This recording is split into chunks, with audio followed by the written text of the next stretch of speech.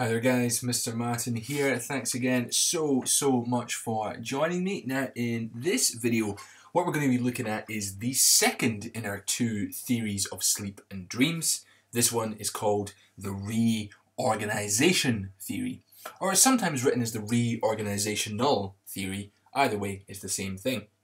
Now just to remind you, this is mandatory course content. That means in an exam situation you could be asked about this theory directly by name.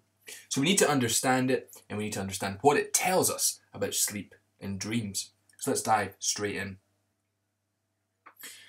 The reorganizational theory was proposed by Crick and Mitchison in 1983. Now, Crick himself, that's Francis Crick, he is a bit of a, a, a, biology hero, if you like. He's one of the first men to discover the, uh, the structure of DNA, so he's got a bit of scientific credence behind him. So he throws his hat into the ring here and says, oh, I reckon I understand what sleep and dreams is about. And he comes up with this phrase here. Crick and Mitchison say, We dream in order to forget. For this reason, it's sometimes called the reverse learning theory. It's a kind of weird thing for cognitive science to do here in saying that, well, rather than learn something, what we're doing is forgetting something. But this is exactly what the reorganizational theory is telling us. Let's have a look at how the, th the thinking behind this works. What we have to do here is understand that there are two main categories or classes, if you like, of memory. The main kind are called adaptive memories. And you can think about adaptive memories as useful memories. These are skills that you've learned. These are relevant bits of information, things that you want to remember, somebody's name perhaps, or the directions to somebody's house or a place of work. These are going to be useful for you. But there's also the second kind of memory, things which aren't as useful. Francis Crick and Mitchison, he called these parasitic memories. These are useless memories, things that are gumming up inside your mind, things that you don't really need or, or don't really need to use um, later on in your life. Things like, for example, what was the colour of the bus driver's uniform on the way into work this morning? Well, you don't really need to remember that, but that could be a parasitic memory, something that's gumming up inside your brain and is wasting energy, time, and resources. So according to the reorganizational theory, what's happening here is that when you fall deep asleep, we're talking REM sleep here, the mind is actively preventing parasitic memories from forming. Or if they've already formed, it destroys them. So the whole idea of this is that sleep is basically pruning your mind. It's kind of getting rid of all the chaff. It's only keeping the good stuff behind. Well, how does it do this? Think about REM sleep. During REM sleep, even though you know your brain's heavily active, you are pretty much switched off from the outside world. There is no incoming connection whatsoever, meaning your brain, your mind, essentially is its own solitary unit. Now, during REM sleep, the brain stem, that's the medulla, this is this section at the bottom of your brain here, very important, sends random but very, very powerful stimuli up the brain stem and into the cortex. Remember, the cortex is the, the outside part of the cerebrum at the top.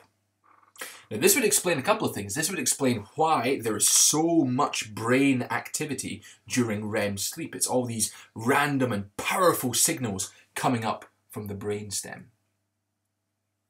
The more these signals start to be powered through into the cortex, the more these neural connections, so basically the more these memories, weaken.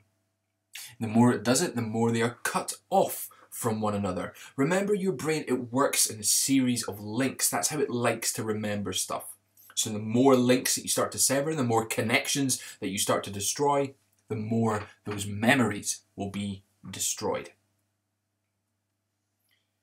Hopefully you've all seen this movie. This is the absolutely wonderful Pixar film Inside Out. It is incredible, both from a kind of entertainment perspective and from psychological perspective as well. It gets quite a lot of stuff pretty much bang on the money, which is pretty cool. Now, I won't spoil it for you if you haven't seen Inside Out before, but just be aware that this scene here is pretty much spot on the money when we're talking about reorganizational theory.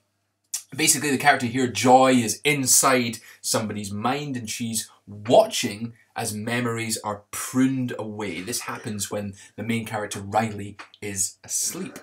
So the more that Riley's asleep, the more these memories are slowly getting destroyed. And these are memories that Riley doesn't really need anymore, things from her childhood.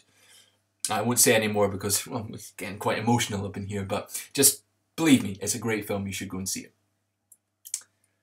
Now think about these random signals from the brainstem for a second. This is basically activation synthesis, if you remember it. All these powerful signals coming up from the brainstem, well, as they are crashing through the cortex of the brain, it makes sense that they're going to activate some pretty random things along the way. Random images and things you've seen and people that you know about and all these kind of things. So, according to Crick and Mitchison, of course dreams are going to be random, bizarre, illogical, really, really weird, because the stimuli from the brainstem are random. They're also bizarre, they're also illogical. This is what dreams are. These are just random images that just so happen to be twigged as the brain is pruning memories inside your mind. What evidence have we got for this theory? Well, we've got a couple of bits of evidence actually. We have these two mammals here. This is the spiny anteater, sometimes called the echidna. It's a very strange thing. It's an egg-laying mammal. And we also have the bottlenose dolphin down below. Now, both of these animals are peculiar because they cannot REM sleep. Yes, they can sleep, but they can't REM sleep. We know that from looking at their brain. We know that from looking at EEGs. Now, at the same time, both of these mammals have a very, very abnormally large cortex. Are the two things linked here? Well, let's imagine they are for a second. If they can't REM sleep, well, it makes sense that they do have a large cortex because they cannot unlearn. They have to store everything they have ever seen and heard. Now, this is probably a pretty grim place to be if you're inside the, the dolphin's cortex because there's going to be all these memories getting gummed up and a whole lot of stuff to kind of filter through. But presumably that's why they have the large cortex because they cannot REM sleep and therefore they don't get these signals from the brainstem and they cannot unlearn. Quite interesting. This might also explain why it's very difficult to remember dreams. Remember the whole kind of thing, you wake up and you've got all these images flashing through your mind and as soon as you go to tell someone about it, turns out you've forgotten what it was. Well, that might explain why, because we are supposed to forget dreams. We are supposed to forget the images that are being flashed up inside of you. Any more evidence for this? Well, yes, there is. Crick and Mitchison and a little bit of um, extra evidence for their theory they ran something called a neural network. A neural network is basically uh, an artificial brain. It's lots of individual computers or, or software linked together, and it's a machine that learns in the same way that we do.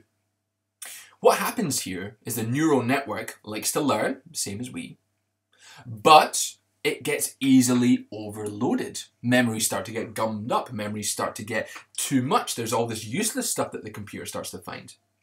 So what actually happens is the neural network starts to reverse learn. It starts to actively undo all of the useless memories that it has.